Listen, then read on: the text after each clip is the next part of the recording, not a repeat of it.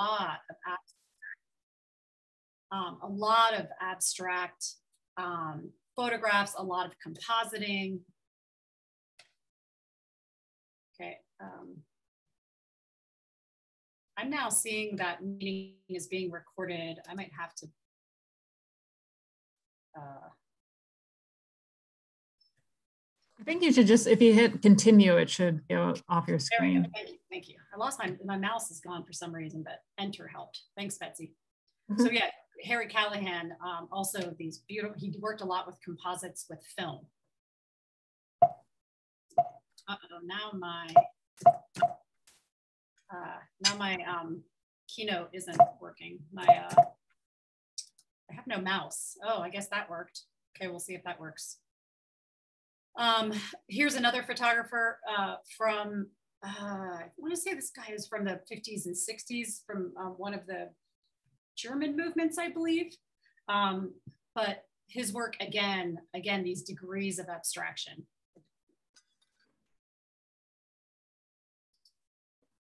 So I also wanted to kind of emphasize that that's one of the joys of abstract photography is it can be done through a lot of experimentation and, and accidental surprises, right? Um, you know, I think as photographers, most of us are type A personalities and one of the things with photography that why we do photography is because we want full control of our medium, of our tools, of everything we do, which is that it makes us, um, you know, we strive for that, right? Is to have control of our medium.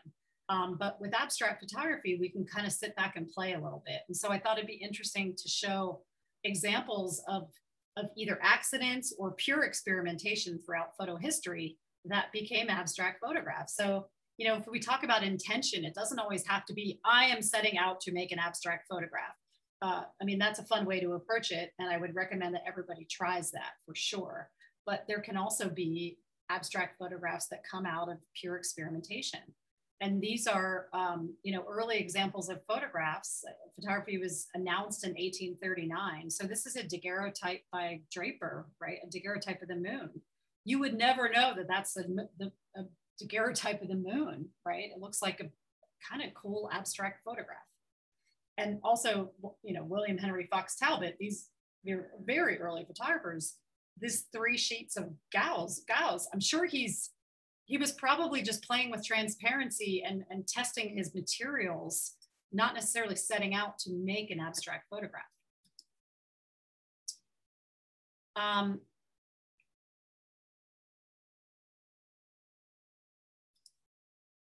I'm okay. I'm going to keep going. I just, I, I kind of wanted to pop into my keynote and make sure this is going in order, but I've lost now mouse, I've lost control of keyboard ever since that thing came up.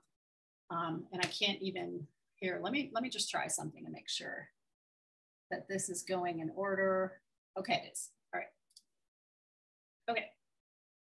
Um, also, these are some of the early motion studies, the scientific photography, where these people were using the camera for scientific study, not to make art, um, but in the process, they've made these wonderful abstract images, uh, you know, via their intention, which was to to use the camera in scientific studies. And you probably know the great Harold Edgerton and his studies of motion, uh, human physiology, kinesiology, I should say more than kinesiology,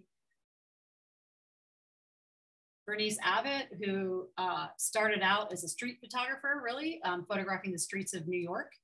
Um, and then she later in her career was making scientific images for science textbooks. And again, the intention was to depict, uh, you know, for instance, this is sound waves, or she was depicting, you know, the, the movement of light through prisms. So it was very controlled and very scientific, but to the out, to the bystander coming up and looking at these and not knowing what they are, they're also beautiful abstract images. We're going to look at some of these photographers when we dip into the little cliff note history too. Otto Steinert was a German photographer from um, a, a, movement called fotoform. And luminogram, that was basically, it's light painting, right? It's um, before light painting existed or we had a name for it. So long exposures and painting with light. uh, Laszlo Moholy-Nagy doing the same thing here, painting with light.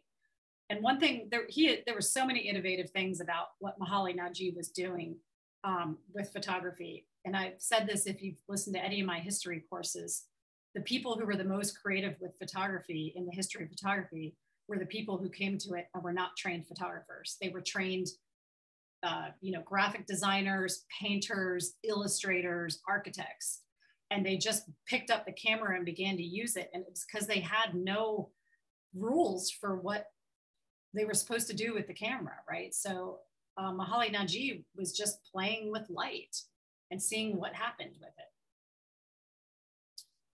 Marco Breuer is a contemporary photographer who works with cameraless images, so um, photograms basically. And I believe this one is one where he has a camera. No, this couldn't be one because it's a cameraless image. But I've seen one of his where he has a camera on a record player and he spins the record player, right? But the way he makes photographs is through pure experimentation. So with a lot of these, you can't predict what the image will look like. Uh, and this is one of mine from, um, I do a handmade photo workshop, uh, usually like a three day workshop over a weekend around the country. And we do all sorts of techniques like uh, chemograms. And you can barely predict what a chemogram is going to look like. You can sort of, if you know the process, know what type, which paper is going to go black and white in what areas, but you absolutely cannot pre-visualize and predict, which is really fun. Just checking time. Okay, we're good.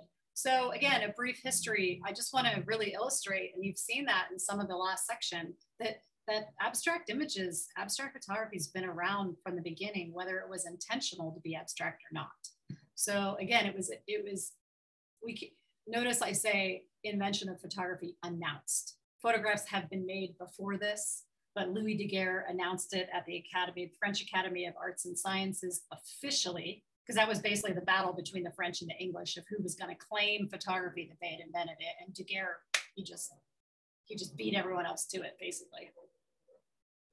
So that was 1839. Here's an image by William Henry Fox Talbot in 1835. And again, you might say, well, how can we call this abstract photographs? I mean, the reason it's abstract was due to the lack of knowledge, lack of chemistry or like materials, right? These, they didn't, it was such a new medium, they didn't even know what was going to happen half the time. But it's still an abstract image, right? It's still something that's distanced from reality. It's something that can create associations, and we might not be able to identify the subject matter, right?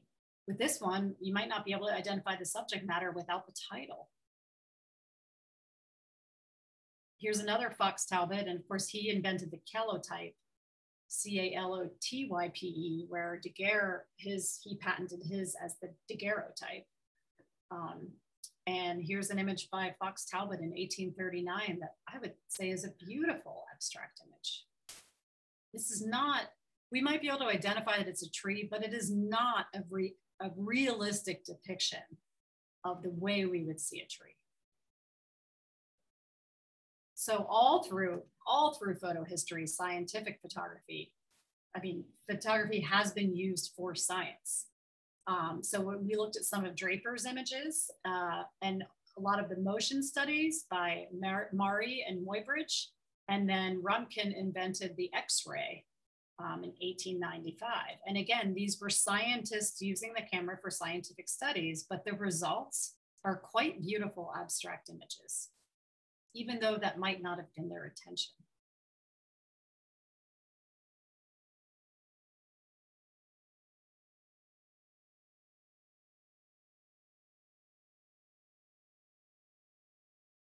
I think the other reason I consider these abstract is not only because visually they feel abstract, but um, in a lot of these scientific images, they could not exactly pre-visualize or predict the outcome.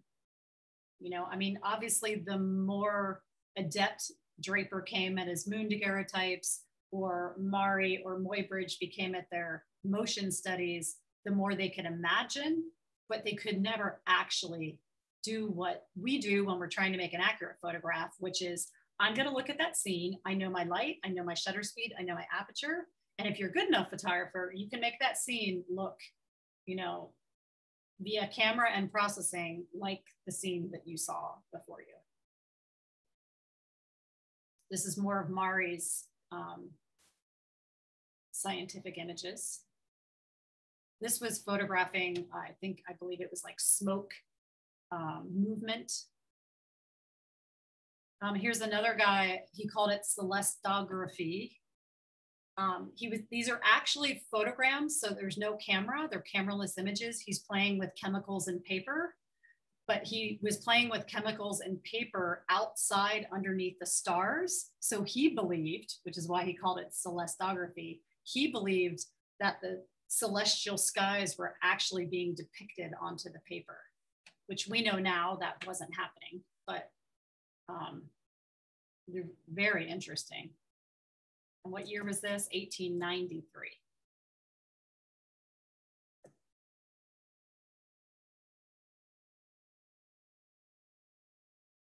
So I did like a, a, whole semester class on abstract photography, and each week we did a different topic, and we did a week on the world unseen.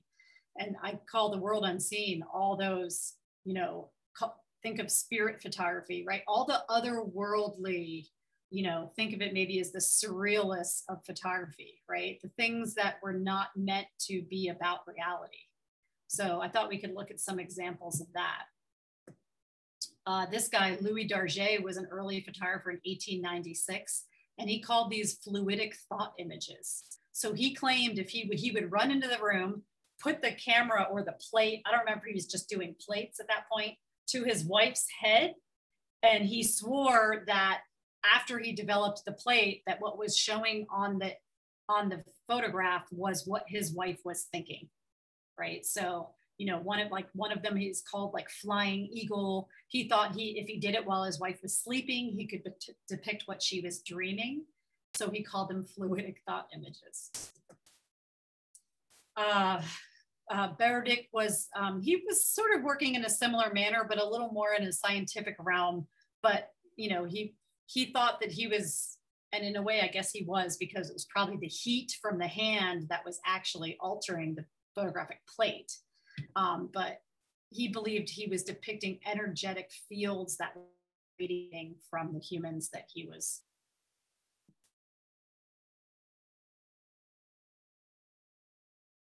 Of course, you've probably heard of spirit photography, right? Some of these people were just pure tricksters but others truly believed that when they saw some strange anomaly that happened on, on the glass plate, that it had to be some evidence of spirit or other otherworldly creatures that the camera was seeing, right?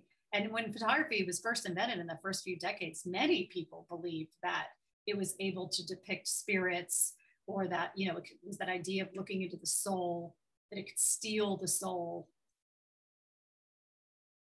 And then of course the great Minor White, who you know I consider one of the most spiritual photographers because um, he not only saw the medium as an expression of his own spiritualism, you know, a spiritual experience for himself, but also felt that photography could tap in again to this sort of otherworldly, the unseen world beyond the one we live in. And I just think it's so fascinating what he was able to do with a camera and film and, and continuously tap into you know that otherworldly realm for him. He was a zen buddhist. And then there's this idea of straight photography right? So think of paul strand um, as early as 1916 and alvin langdon coburn but paul strand you know i mean Stieglitz, in his last edition of Camera Work, featured Paul Strand and he called it straight photography. So this was post pictorialism. And the idea was this is the camera depicting a scene with no trickery. But I still love the trickery here or the creativity here for Strand was the camera angle and the perspective, his composition. Right. So by just tilting the camera, and I know today we might look at this and go, you know, whatever, that's no big deal. But then uh, this was quite unique to take a camera and completely skew the angle to make it, um, you know, kind of topsy turvy or to make it just about the light and shadow and not about the subject. And Paul Strand was so good at this. I think he was someone who really tapped into light and shadow. And I do think as photographers today, we often forget that our medium is light and shadow. And you know, challenge yourself even to go out and just photograph light and shadow. I think we can forget about that. And Paul Strand was just, I think, one of the best when it came to that. So these are all Paul Strand. And then Alvin Langdon Coburn, who was an early pictorialist, developed this method where he would put several uh, glass prisms at the end of his lens. And he created what he called vortographs. And this was coming from a, a art movement at the time that was called vorticism. So he was kind of mimicking that, but it looks like a kaleidoscope, right? So he's using the straight camera, but he's just putting these glass prisms on the end to kind of totally obscure the way the camera is seeing the world.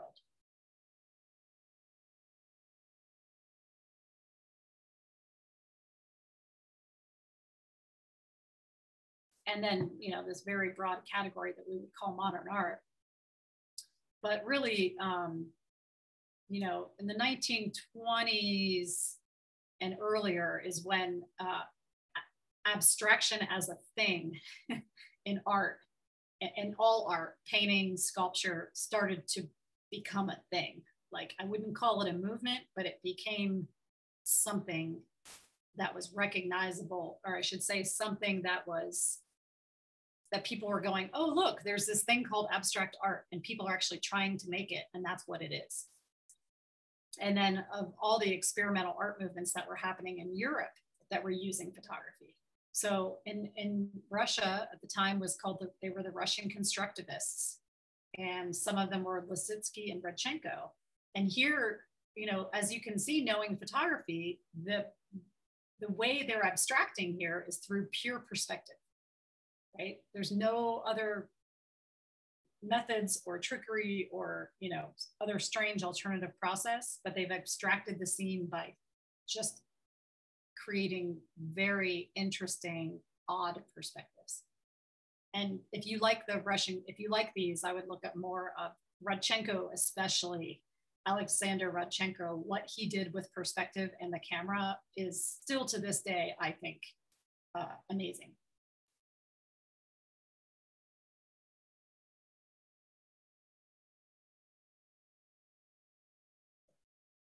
And of course, the Dada movement, right? Hannah Höch, who did these uh, photo collages. So the, the Dadaists took photos and began to, you know, kind of reappropriate them into this photo collage to, to become something else and represent something else. And if you look at a lot of Hannah Höch's work, she was the only female Dada. I mean, they used to send her off to get sandwiches and coffee as if she wasn't one of the artists, like she was the secretary. But she wasn't. She was a member of the Dada movement and the only female member. And so her work was very much about the perception and role of women in society then and within art. You know, women in beauty and women in being feminine and women having all these labels. And then right after the Dadaists came the Surrealists. We've probably all heard of the great Man Ray, who was working with all sorts of techniques uh, in the dark room and with the camera um, and the surrealists were all about, you know, I like to call it like the trippy world, anything that was not everyday reality, whether that was the subconscious, dream world, fantasy. Um, you know, the more you could take it there and the less it was based in reality, the better for them. So here is using solarization on the left and then multiple exposures on the right or camera movement, not sure more of Laszlo Nagy using the light painting, and then on the right, photograms. And Man Ray used photograms as well. So, you know, it's also called a cameraless image. Most of you probably know what a pho- photogram is, but it's when you take a piece of photographic paper and you lay objects on it and you expose it to light and then process it. So, no negative, no camera. And then even the California modernists, right, who were their whole manifesto for F64 was to depict reality accurately with the camera with the full depth of field and sharpness. Um, Ansel Adams, not so much, but Imogen Cunningham and Edward Weston, they even moved out into, um, you know, some abstract realms.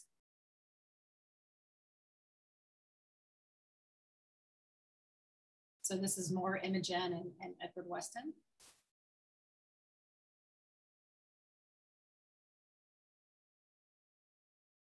And Aaron Siskind, phenomenal photographer of the 40s, 50s, and 60s. He's often thought of, um, he photographed Harlem in the early days, but he's often thought of as a street photographer, along with, you know, Lee Friedlander and the other great Harry Callahan.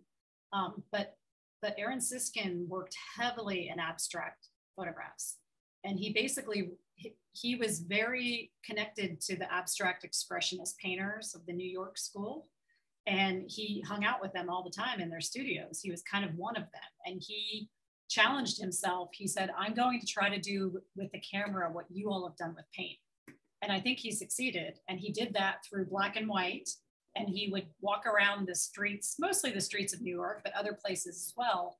And he would photograph, you know, like peeling, peeling, you know, movie bills and posters and uh, you know, walls crumbling, whatever he could find, right?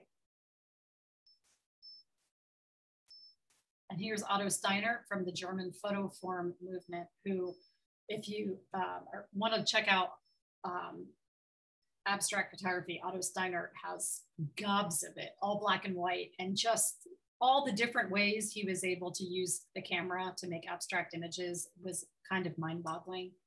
Uh, so many different techniques from the one on the right, which is a straight photograph, almost still life, to the one on the left, which is just long exposure, pure, you know, movement. Okay, so where are we time? Okay, good. So, you know, last but not least is some techniques for you to use to make some abstract photographs. Um, so I'm going to cover each of these, but generally we talk about abstract photograph being an exaggeration or simplification of an object. Uh, we've looked at a lot of examples of playing with perspective. We can use windows, reflections, and shadows, of course, soft focus or movement. And then I'm gonna wrap it up with some alternative process ideas, which you've seen some already from some of the examples. So exaggeration or simplification of a subject. So as some of you may know, um, one way to do that would be to use a telephoto lens or a macro lens, right? So you're simplifying the scene and maybe, you know, um, isolating, if not the subject, at least some element, whether it's a line, a shape, a texture, a color. Um, so simplifying that scene, often using simple compositions and thinking about maybe blank backgrounds. So again, the great Harry Callahan uh, was a master of this, right? Um, using very blank backgrounds and photographing, you know, maybe just a reed of, of grass or one little element to create something that almost looks like a line drawing. So thinking about isolating your subject on a very simple background and, and create using the lines, the shapes, and the texture to create the, composition.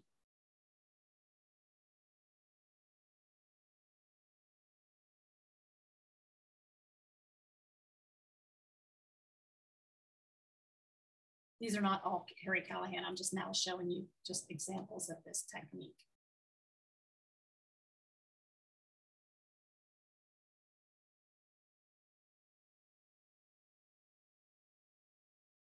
This is Uta Barth, a German photographer contemporary German photographers still shooting today.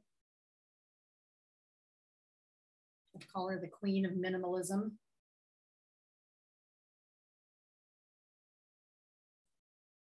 Or we can go to the other end of the spectrum, which would be exaggerating the subject. As you, many of you know, if you use a wide angle lens and then get very close, we can start to exaggerate elements of the scene and distort things. So these are two images of mine of Again, doesn't matter what it is, but you can see him shooting through glass, but getting very close to distort what we're looking at. The one on the right is actually looking down into a very small mason jar.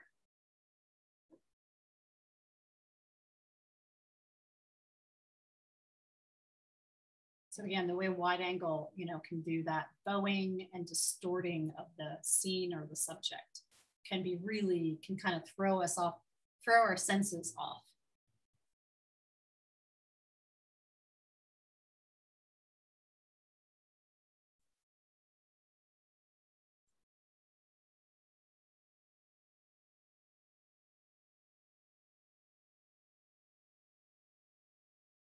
I believe this is also Paul Strand.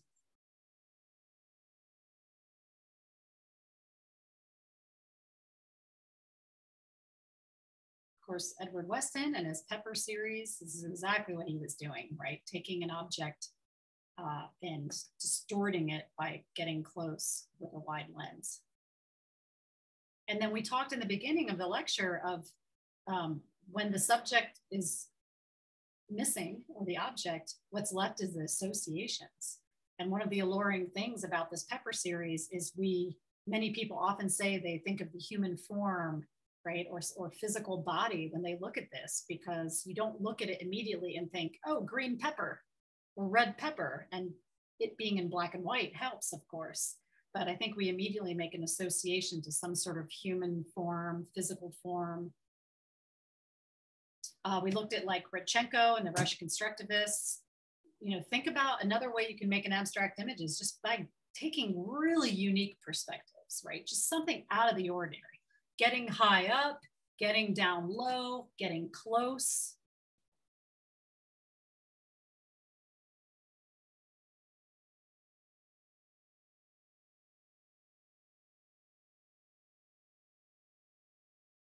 So I'm like, I'm like right under the flower with the light shining through it.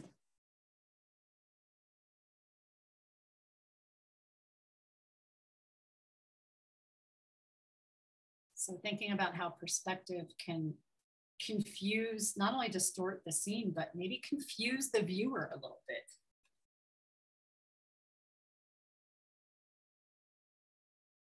This is a photographer. He just passed away in the last few years.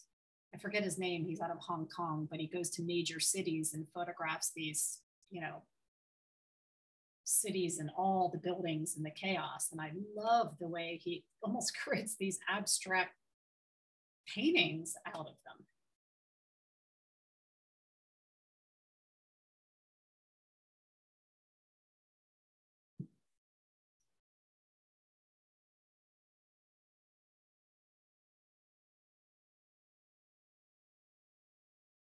The other fun thing with abstract photography is you can see from looking at these examples, it's like any subject can be interesting, right? It doesn't have to be something special.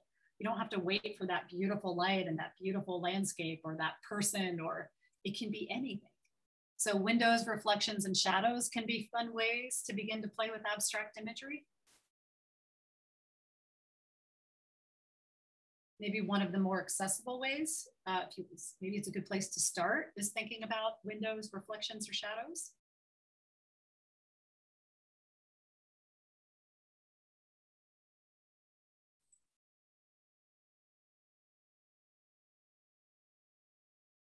Maybe using some long exposures.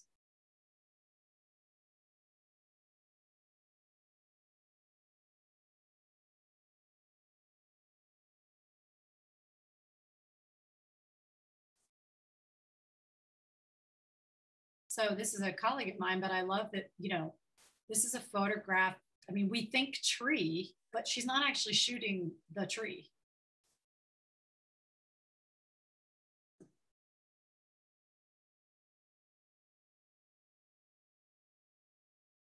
This almost looks like a Lee Friedlander, but I'm not, I think this is a Lee Friedlander who almost always did his own reflections you know, even something as simple as this that is a bit of a straight photograph, but by using this heavy shadow to obscure half of most of her face, suddenly throws it into this whole other realm.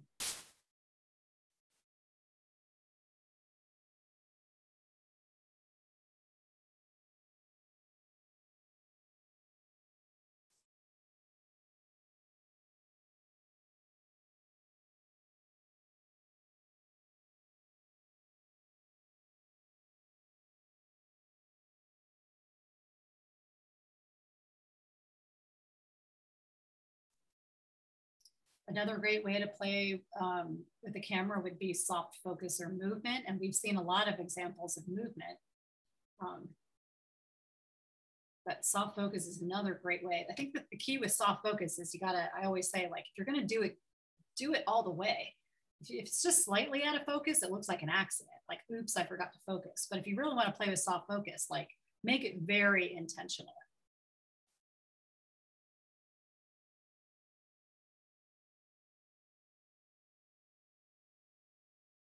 I like soft focus when it's so soft that it just feels like your eyes are glazing over, but there's still a hint of subject. So like this is, I wanted that feeling when you first open your eyes on a warm sunny morning and you're still waking up, but the sun's, you know, blasting through the window. And then this is Uta Barth. And I love how there's still a sense that this is like potentially a street, a city street, a wall, a building, a tree. So there's these little hints of, of what might be there. Uh, this is Francesca Woodman. She's no longer with us, um, who did a lot of these long exposure uh, movement self portraits.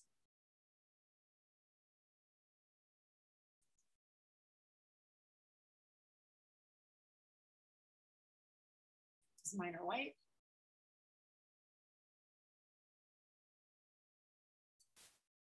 This is Otto Steinert from the fotoform that I was talking about, who used so many different techniques for his abstract imagery.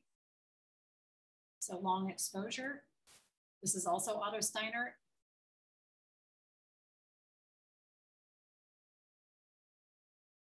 Harry Callahan. So that movement can be shaking the camera, it can be the subject moving, Maybe it's movement and soft focus.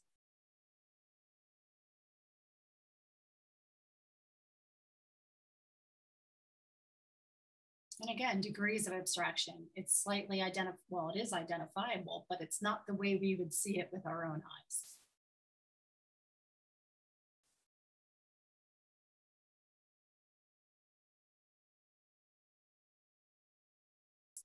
And then last but not least, uh, you know, alternative process or um, well, I don't know what else to call it besides alternative process is a really fun way to play with abstract imagery.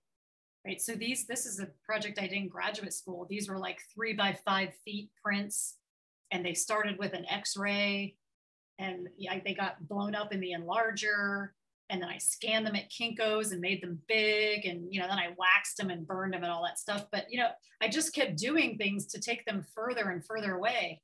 And when they were finally hanging on the wall, I didn't care. I didn't want people to be like, oh, that's an x ray from your body. And no, I just wanted them to see it and just have the association of where it could take them. But every step I made was to take it further and further away from what it originally was. This is a fantastic photographer working today, Alison Rossiter, who works with all like expired photographic paper. Um, so no camera, she just uses old photographic paper and chemicals and light and does and probably some other chemicals and materials and just makes these beautiful abstract images. This is Alison Rossiter to Alison Rossiter too.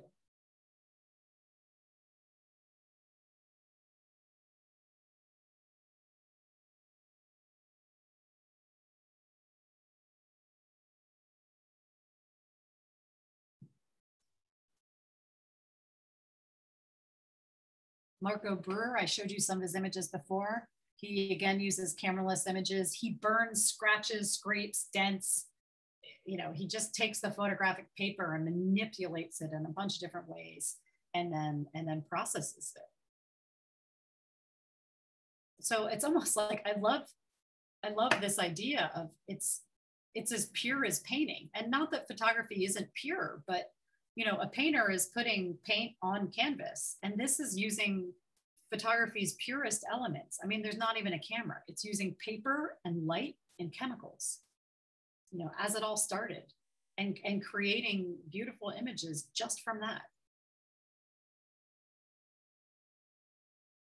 Photograms, another great way if you have access to photographic paper. You can find used photographic paper online. I mean, I walked into a like reclamation home home reclamation place here in Missoula a few years ago and found 10 boxes of 16 by 20 and 20 by 24 old paper. No one there knew what it was. They gave it to me all for $5. it was, some of it was water destroyed. It was a mess, but it's really fun for stuff like this. So if you can get your hands on that kind of stuff, um, send it to me. Know, go ahead and, and have fun with it, right? Do you need the chemicals, of course, fixer and developer, but you don't need a lot of space. You don't need a dark room. Um, chemograms you actually do out in the light. This is a guy you can see applying syrup on glass, so dye transfer prints, so a color process.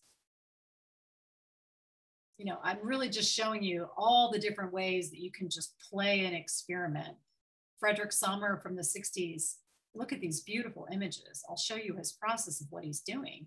But he's basically, he has these big pieces of paper and he's just cutting shapes into them and then lighting them and photographing them in this really beautiful way.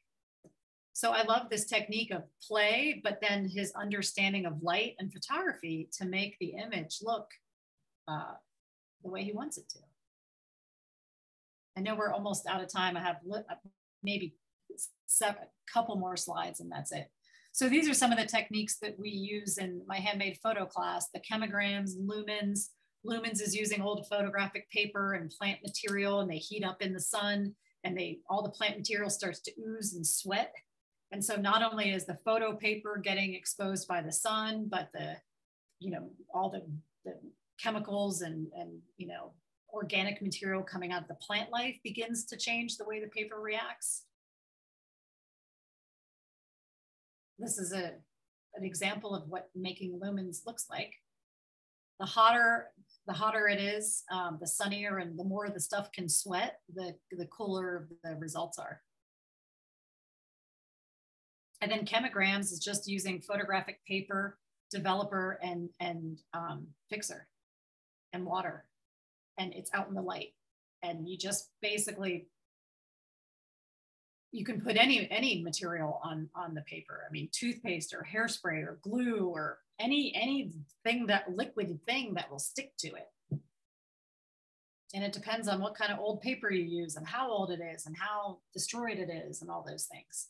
And then cyanotypes. You know, sometimes I think people think of cyanotypes as like exact, you know, they're contact prints. So people think of them as very exact uh, prints of a negative, but you can also have fun with photograms and movement. Like the one on the right, the one on the left is just layered plant life, but the one on the right is those little origami butterflies that you saw in my other photograph.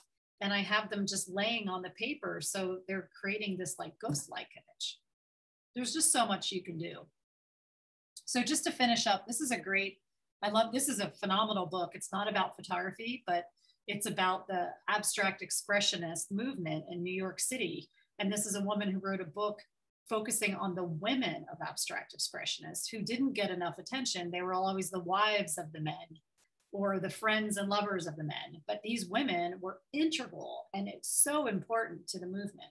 It's called Ninth Street Women Five Painters and the Movement That Changed Modern Art. It's a phenomenal book if you're interested in history at all. But I love this quote. She says, The result was abstraction, free of anything but the material which with the art was made and the naked energy of the artist who produced it. So my assignment for all of you in a creative assignment is to make an abstract image using one of the techniques we discussed. And I know you guys are recording this, but um, Betsy, I'd be happy to like screenshot the slide and send it to you if you need a reminder of the techniques we discussed. Um, but maybe challenge yourself to head out in the next few weeks and um, you know, you don't need to go anywhere special. You could do it anywhere in your backyard, in your house, um, and think about using these techniques to create a unique photograph.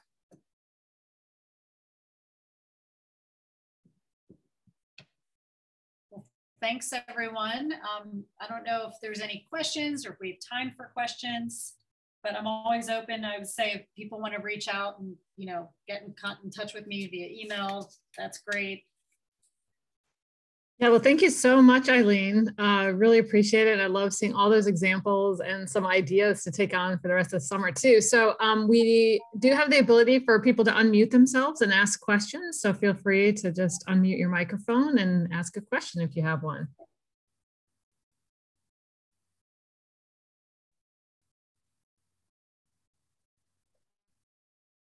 Might be hard to ask questions about abstract photography. like just go do it. Just go try anything.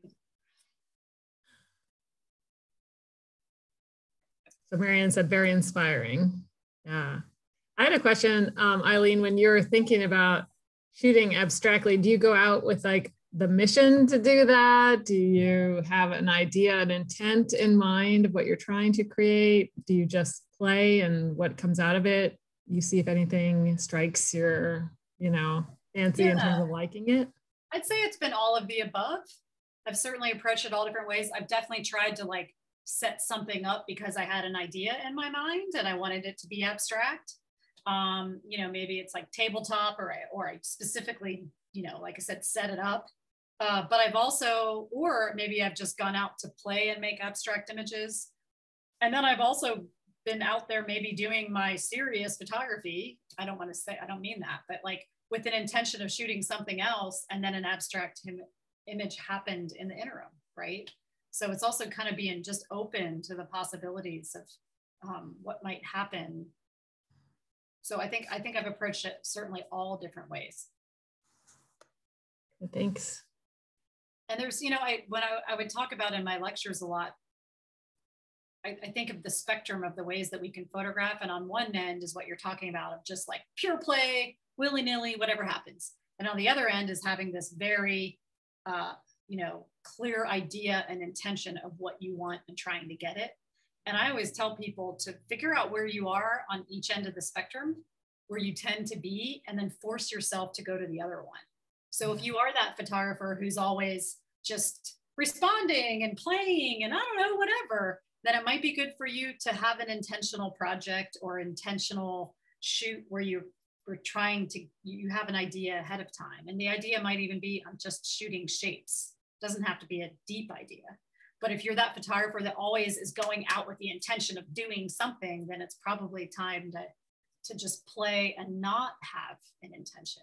It's all it's all about that exercise in the creative brain right? We know there's so much research on creativity and we know that a creative brain the reason the creative brain is different than a non-creative brain is it's just that more parts of the brain light up more often. And a brain that's not creative, not as many, there's a lot of darker parts that aren't being lit up. So it's like cross training, you know? So I think it's good to know the way you work and then try to force yourself to, to work in a different way. Really interesting. Thanks. Anyone else have any questions?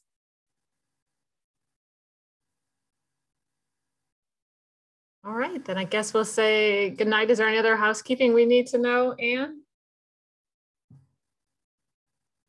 Um, no, I don't think so. I'm sorry I, I didn't get the recording started in time, but we'll, we got most of it.